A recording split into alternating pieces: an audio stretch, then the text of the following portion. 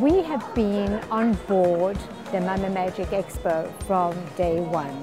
The CTICC2, it's happening, the staff are marvellous, everybody is helping. We're getting all the help and assistance that we need and we've become now a partner with Mama Magic on the Baby on Board competition. It's very exciting, like are we going to be able to deliver and to be able to make many more happy mums and babies.